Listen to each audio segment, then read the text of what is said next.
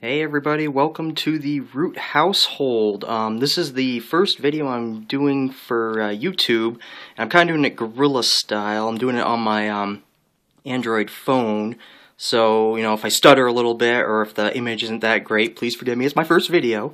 Um, as you can see, we're decorated for Halloween. Got the little webbing up here on our archway to our living room, and as you can see, kind of in the living room, you'll see it maybe better when I get a little bit closer. Um, got our Halloween decorations up. You can see kind of the skeleton sitting by my games and DVDs. Um, I thought for my first video what I might do is show you um, some of the uh, DVDs I have in my uh, collection.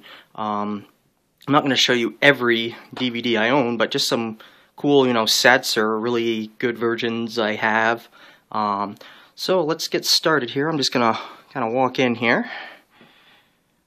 Ooh, I got to point this out too.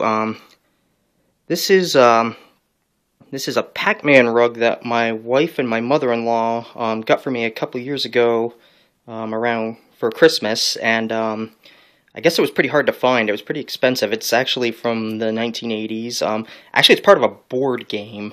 Um, obviously, I don't have any of the pieces of it, but that's I saw in another, the Angry Video Game Nerd has it. That's where I saw it, and I really, really liked it. So she, bless her heart, she found it for me, and um, I love you very much for that, honey. Thank you.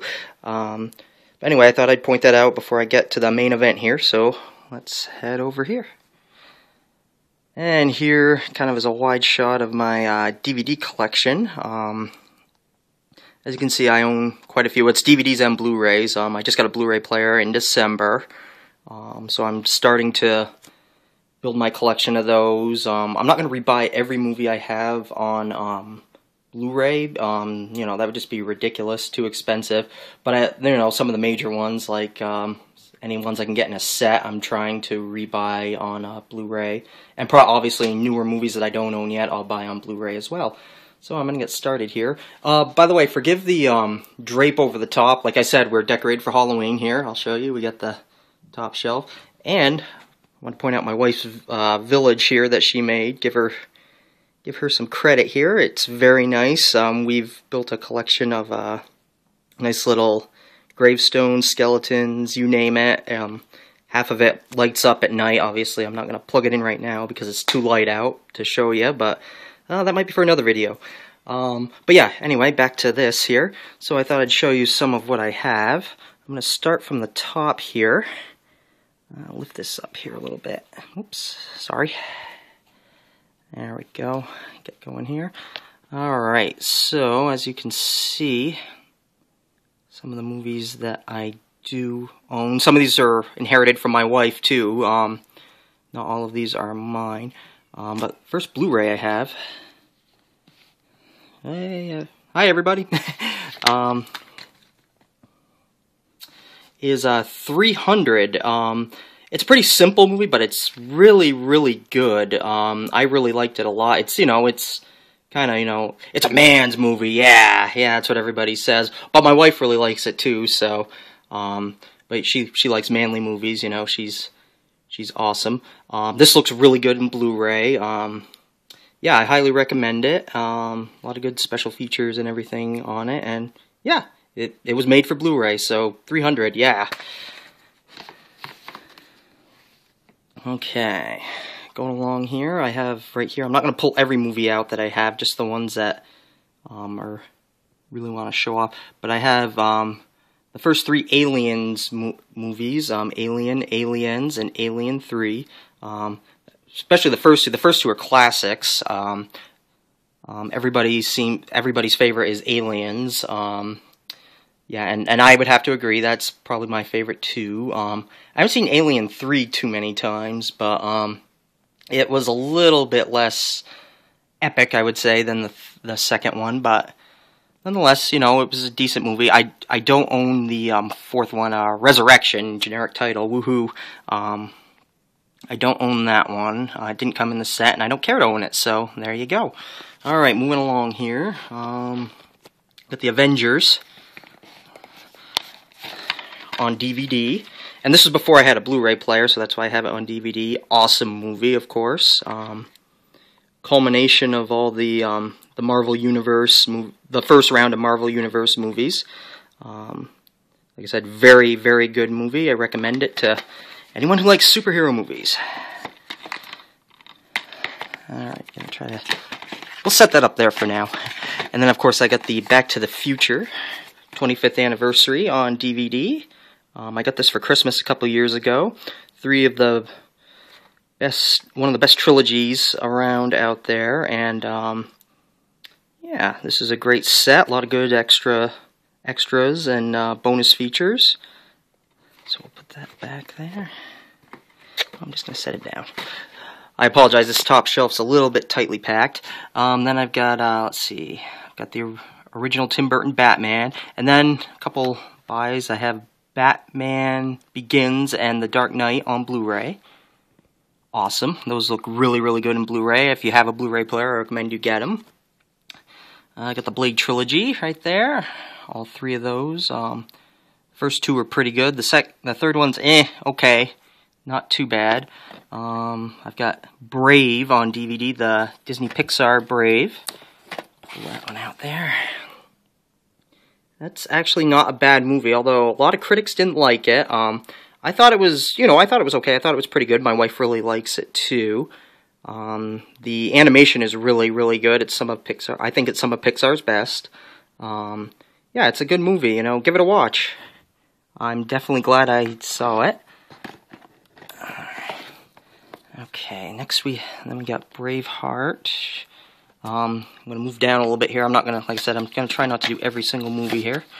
Um, Clerks, the 10th anniversary edition. This is awesome. This has several cuts of the movie. Um, it's got a director's cut and you know it's got the theatrical cut. Very very um, gritty comedy, very funny. Um, some of the some of the jokes might be a little intense for some people, but I, I really like it as my type of humor. So I love most, if not all, of the Kevin Smith movies. So that's good one. All right, moving down. Let's see. Cloverfield. Um, if you like giant um, monster movies, that's a good one. Um, like Godzilla. Um, Commando. That's one of the one of my favorite Arnold movies. Along and right next to that on Blu-ray, I have Conan, the first Conan movie. This one is really good right here. Um, much better than obviously its sequel, Conan the Destroyer, and uh, don't even bother with the remake. All right, got then we got the Of the Dead movies. We got this is a good set for Night of the Living Dead right here. This is a good release of it. And the main reason I say that is because it has a commentary track from uh, Mike Nelson from uh, Mystery Science Theater 3000. It is hilarious. He riffs on this movie. Oh, it's really, really good. And I actually cannot watch the movie without that um, commentary anymore because um, it is just slow as shit, really, honestly. Um, it is dull, it's uh, kind of boring, but you know, it has an important place in the zombie genre as being pretty much the first movie to invent what we know for zombies today. Uh, original Dawn of the Dead, really good movie. Day of the Dead. See, this one is, I think, really underrated here.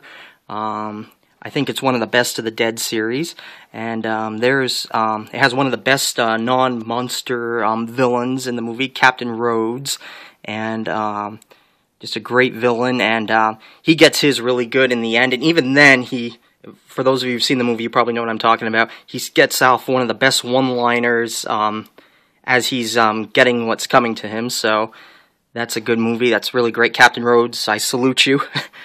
uh, let's see. Then we have Land of the Dead, which is a lot of people thought it was a. Some people thought it was going to be a sequel to. Well, I'll get onto it here in a second. The um, Dawn of the Dead remake, but it's actually a sequel to Day of the Dead that came out in uh, 2005, and it's you know it's a pretty good movie. And then we've got Diary of the Dead, which is um, came out in 2008. Correct me if I'm wrong on that.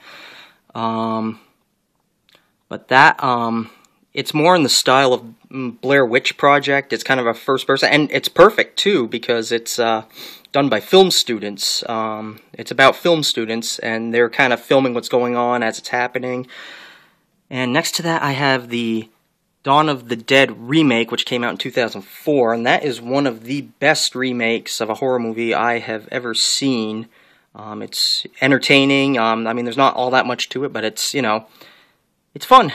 Okay, and moving along here, uh, I've got the original um, uh, Dracula movie that came out in 1931.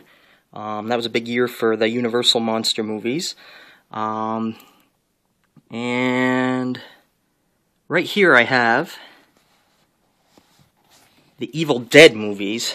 Um, this is Evil Dead 1, and it comes in a Book of the Dead case. It's awesome. It's got a really nice rubbery feel to it. And when you open it, like so, by the way, I'm sorry if this is going off camera a lot, but I'm kind of doing this one-handed here. Um, a lot of cool illustrations. And yeah, right there. Very nice. Very nice. Very creepy. Yeah, ooh.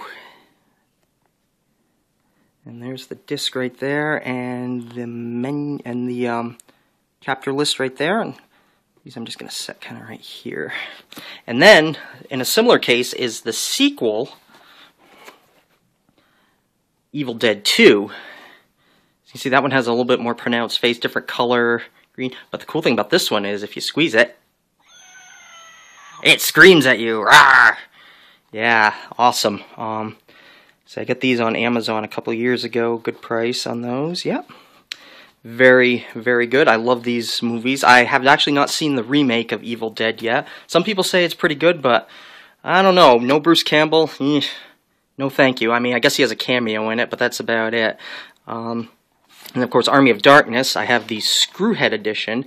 Um, and this version actually has the um, Hail to the King ending, which um, I guess was omitted from some DVD releases. But this this is a really good set right here. Um, yeah, that's a good one right there. Especially since it has the, like I said, has the Hail to the King ending. Alright, moving down a little bit. Uh, couple movies here. Got the original Frankenstein movie. Uh, Ghostbusters 1 and 2. A lot of people shit on the second movie, but, you know, it's not that bad. I mean, it's not as good as the first one, but... Um, then I've got my Godzilla collection. Um, yes, I did like Godzilla movies when I was a kid, and, uh, you know, sue me. Um, but I don't have every movie on DVD because a lot of them are actually not on DVD. Um, some of them, or some of them were released on DVD a few years ago, but they're hard to find. Um, I've got this Godzilla collection right here. These two, um, they have um, pretty. It has the English and the Japanese versions of a lot of the Godzilla movies, including the original. It's a really, really good set. Uh, and then I have Destroy All Monsters, which didn't come oddly didn't come in this set, but it came out as a separate release. Um, I have Godzilla versus King Kong. Now this is an interesting one. I got this one on eBay. I guess you'd call it kind of a bootleg. It is the Japanese version of the movie, which I think is infinitely better than the US version. They chopped that one up really bad. Put that right up there. I'll sort these out after. Um, and here's my cop wife's copy of Gone with the Wind. Now, a lot of people who know me probably wouldn't think that would be my type of movie, but I like it. It actually was a good movie, and um, I'm actually going to turn around here. My wife has a really cool um, collectible from that movie here on the wall.